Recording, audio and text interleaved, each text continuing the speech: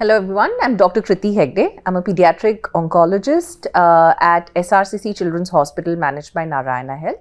Today we're going to talk about neurofibromatosis in children, which is a rare yet a common disease that we do come across. It is a disease which is involving a lot of systems. And to know more today, we have Dr. Uh, Anaita Hegde with us, who is a senior consultant uh, in pediatric neurology uh, at SRCC Children's Hospital, managed by Narayana Health. Uh, hi, Dr. Anaita. So, we would like to know uh, more about neurofibromatosis and what is neurofibromatosis? Can we start there? So, neurofibromatosis is a relatively rare condition that we see in children and adults, but predominantly with its manifestations in childhood. It's a genetic disorder. Uh, you have two types neurofibromatosis type 1 and type 2. For all purposes, today we will be discussing neurofibromatosis type 1 because it's relatively more common and seen in the pediatric age group. It is uh, rare means it's about 1 in 3000 or 1 in 2000 children would get neurofibromatosis. It's inherited 50% of the time from one of your parents. That means your parents may have it as well. And 50% of the time it's a de novo mutation, means it's just like a bad luck situation.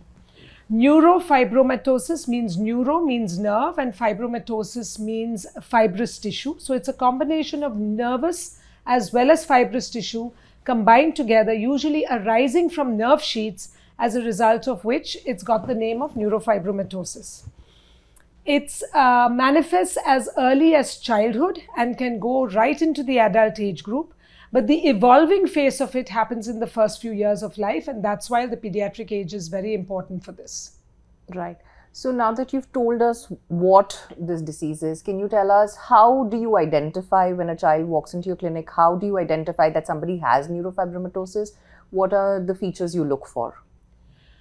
So, neurofibromatosis has numerous features. So, the first thing that makes you realize that this kid might be having neurofibromatosis is the lait spots.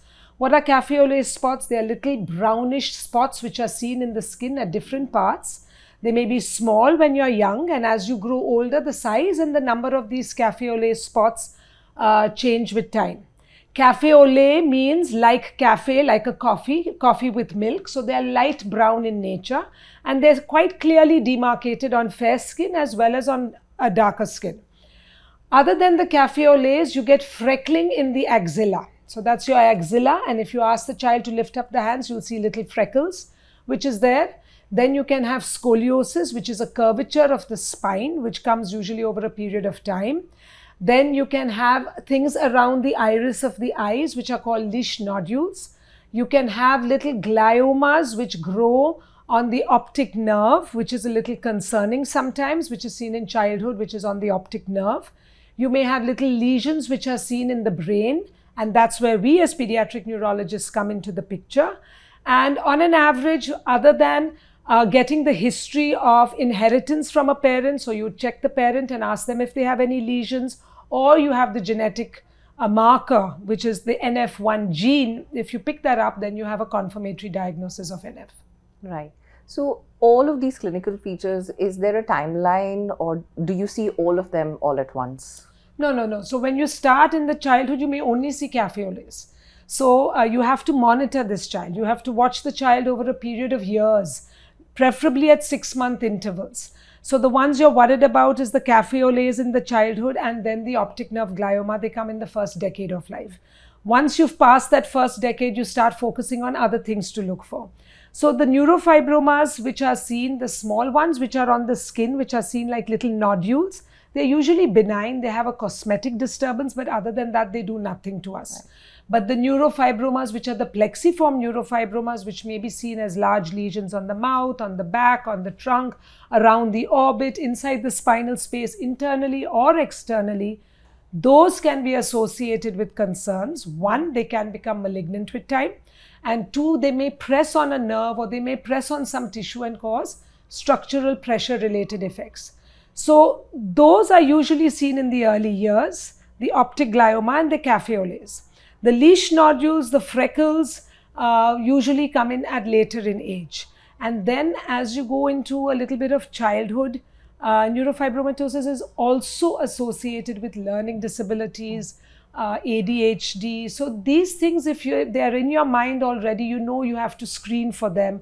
You know you have to ask about it. You have to send the child for assessment, find out about school issues, so that you pick it up early and start working on it. The adult variations are uh, there's nothing new that comes up in adults, except that many of the time some of these lesions may turn malignant with age. So that's the concern in, in adults with NF1. Right. So say we've made a diagnosis of NF1, how do we then approach this case? What needs to be done next? So, if the kid comes in and I've made my diagnosis, one is I sit and counsel the parents. I explain everything about what is NF1. Uh, they're very concerned about the genetic aspect because when it's come from one or the other parent, there's always that concern about who is it come from, whatever. And very often the parent is oblivious that he has NF1. He's just got those two lesions on his body and that's it. So you want to highlight that it can be a relatively benign condition with nothing through your entire life and you don't need to worry.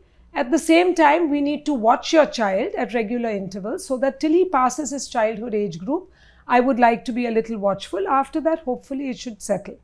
So after you've made the diagnosis, the next thing you would do is screen for all the different systems that are involved. So we discuss eyes, we discuss spine, we've done skin, we need genetic testing, we need counseling for this family.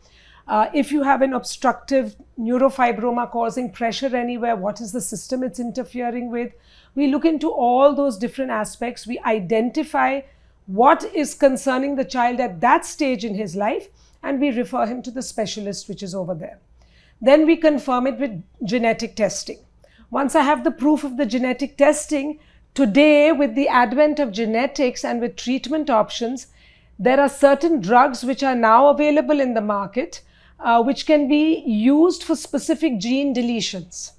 So today with precision medicine, if I identify what gene it is, I would be able to maybe find a medicine that could help you to some extent at least in shrinking these neurofibromas or treating them accordingly. So today with the advent of genetics, it has actually changed the way we can treat numerous conditions, particularly neurological disorders. Once you identify what gene is uh, causing the neurofibromatosis in your child, there is there are some medications today which can be used particularly on different genetic abnormalities. So that's the role of what we call precision medicine. That with genetics today and i'm hoping in the future we'll have a lot more medication that can be used either to shrink the tumors or to prevent them from coming in the first place so that we can change the course of the disease going forward so I would like to emphasize that while we can't change our genes and we can't change our genetic code, doing the testing very often can help the physician guide the treatment so that your child has a better outcome going forward. And once we've confirmed the diagnosis, counsel them, send them off to the different specialists, given them a surveillance chart to tell them they need to come at regular intervals and do all these things. We even guide them from antenatal counseling. So once you have the gene in hand, uh, and the parent or the mom is expecting the next pregnancy, we can guide her, we can tell her, we can show her different methods by which she can be uh, sure and know what, what is coming next.